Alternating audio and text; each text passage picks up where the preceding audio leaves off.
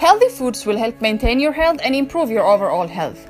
But there are many misconceptions regarding foods that are healthy and foods that help you lose weight. Even though there are ways to make your diet as healthy as possible while getting all the nutrients you need, most recommendations from nutritionists and health gurus can be too bland and too boring to follow. And low calorie foods can leave you feeling hungry and unfulfilled between meals, leading to overeating during mealtime and gain more weight as a result of consuming too much of the low calorie foods. Many health experts are not sure what to recommend to their customers who seem not to lose any weight regardless of how strict their diets are, and there is a great concern that a lot of people are avoiding nutritious foods that are essential to their health in order to lose weight. It's true that there's a growing concern around obesity and the health crisis in many countries due to medical conditions caused by excess fat and unhealthy eating habits of people.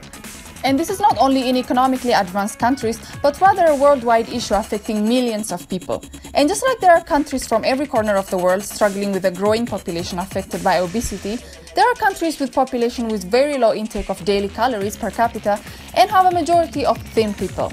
And it's not necessarily because of poverty or unhealthy eating habits.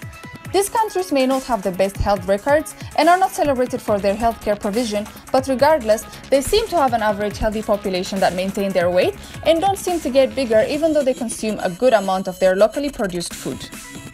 Here we'll see one African nation's unique diet and stay tuned to the end of the video to see a list of most consumed dishes in this country that seem to burn your fat than adding calories.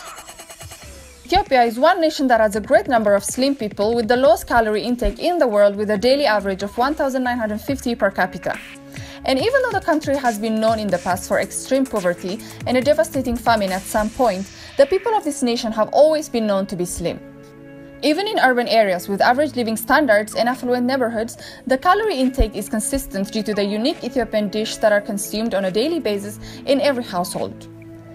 Ethiopian cuisine is centered on vegetables and spicy meat served on flat, white or brown bread known as injera. And most households in the country will serve a variety of stews and veggies during meals. But injera will always be on the meal table, especially during lunch and dinner. Injera is made of teff, one of the earliest domesticated plants.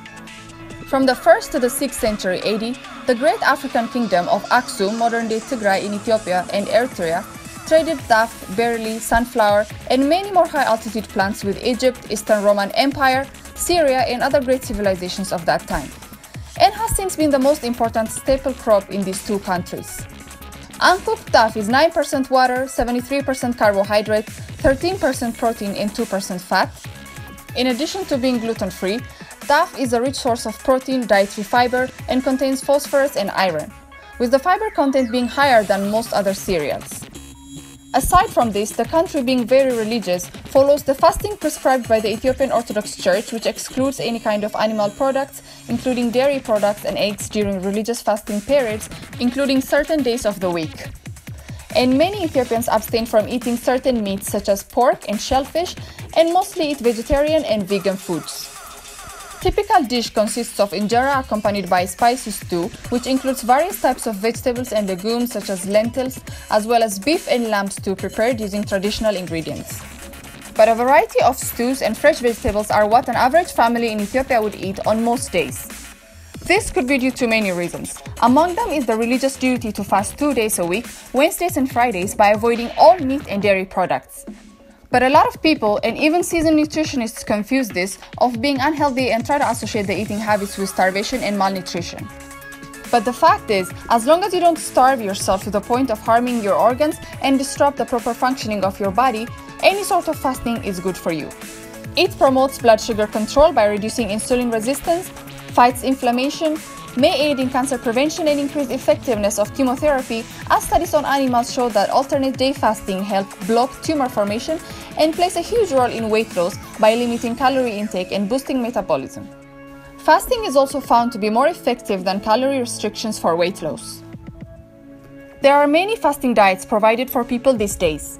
And even though most of them could be effective if applied properly and consistently, they may be risky and dangerous if followed for too long, which some people seem to do out of desperation to lose weight. These diets have only been around for a short amount of time with very few studies, compared to thousand years traditions of countries and people. Going back to ancient traditions around food and drinks, alcohol is a huge part of the Ethiopian lifestyle. People consume many kinds of traditionally fermented beverages in the country. People enjoy these drinks every day except again during fasting times. This will significantly decrease the intake of alcohol during these fasting periods, which sometimes last up to two months, giving your body the break it needs to burn body fat properly instead of burning alcohol, postponing other fat burning processes in addition to directly adding high calories to your body. So, cutting back on alcohol or fasting and even refraining from consuming any sort of alcoholic beverages for some time could do wonders to your weight loss. Before we end this video, we'll leave you with 5 of the most frequented meals among Ethiopians alongside their calorie percentage and nutritious values.